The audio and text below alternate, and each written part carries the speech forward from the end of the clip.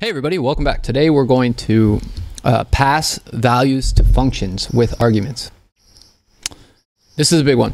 Parameters are variables that act as placeholders for the values that are to be input into a function when it is called. When a function is defined, it is typically be uh, defined along with one or more parameters. The actual values are the input or passed into the function when it is called when it is called are known as arguments. This is a function with two parameters, parameter 1 and parameter 2. Parameter two, 1, parameter 2. Uh, this is test function. Then we call test function. If we say test function hello world, so what it's doing is console logging param 1, which in this case is hello, and then param 2, console log here, which is world. We have passed two arguments, hello world, inside the function. Param 1 will equal hello, param 2 will equal world. Note you could call test fun again with different arguments and the parameter would take on the value of the new arguments. So let's do that real quickly. Um, if we moved this function over to here, we could console.log. No, we don't have to console log. We can just call test fun, and then we could say, uh, for example, Costa Rica. And then here we would see that it would spell out Costa Rica.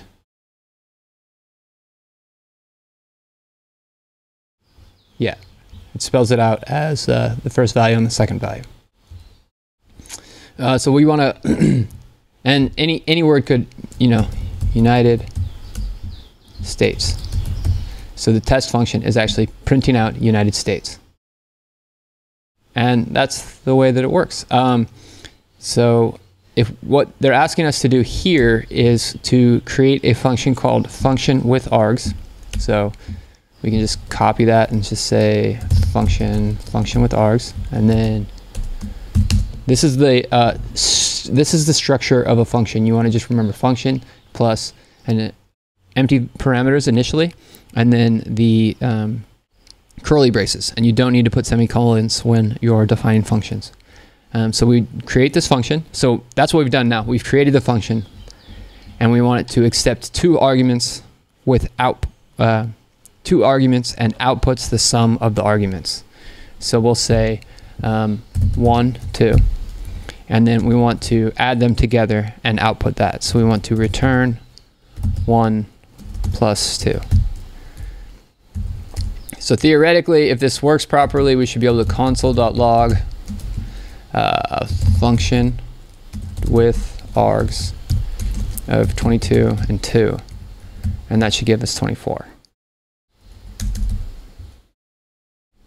so what's happening here? Function with args basically we're going down through the interpreter right? Function with args our function with args is equal to their console logging a minus b which is 10 minus 5 and that's where we're getting this from. That's why it's outputting 5 because we're saying 10 and 5, 10 and 5, 10 and 5. And then we're in the interpreter, we're saying function with args, which is different than our function with args.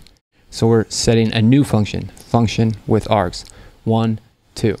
And then we're returning 1 plus 2. And then when we console log this, we say function with args, 22 plus 2.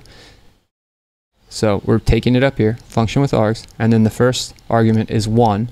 So we're setting this 22 to 1 which happens here, and then 2 is here, uh, which goes 2. And that gets us 24 in the console. I'm not sure if this is actually going to work because I'm not console logging it. I'm actually uh, just returning the function, which is smarter overall, but cool. So it's saying that this doesn't work. Why does this not work? Function with args should, uh, 1, 2, should output 3. So they don't want us to console log here. They want us to do it within the function if that makes sense. Uh, so I'm going to console.log 1, 2. And uh, if we run the tests, it seems like it passes. So yeah, again, what they're saying, you can add this down here too. You can just say function with args. That gives you the three that they're looking for. Right, one and two. The next one's seven and nine, which gives you 16, right? You'll see down here you get your 16. And then uh, with two numbers after you define it. Call function with args with two numbers after you define it. I'm not really sure what that means. But essentially, all you have to do is write this function. So this is the key. This is the code that passes the test. Um, the main thing that they're trying to teach you here is that you create a function like this guy, and then you're then you need to call the function, right? So I just ran the test and this didn't work. What we need to do now is we need to call this argument. So function with args. And they just want us to call it uh, with two numbers after you define it. So the two numbers that we define it with, let's say, I like 22 and 2 because it's kind of obvious that when it becomes 24 that you're passing in two numbers.